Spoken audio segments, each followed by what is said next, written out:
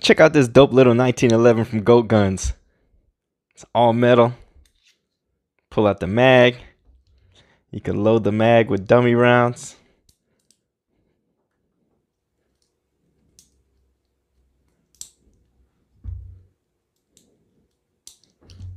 Boom. Racket. Eject. Slide lock.